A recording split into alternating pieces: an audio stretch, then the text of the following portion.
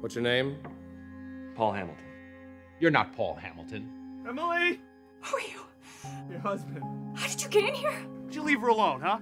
Don't hurt me! Ah! Paul Hamilton's dead. This is my house. You want a I piece of this?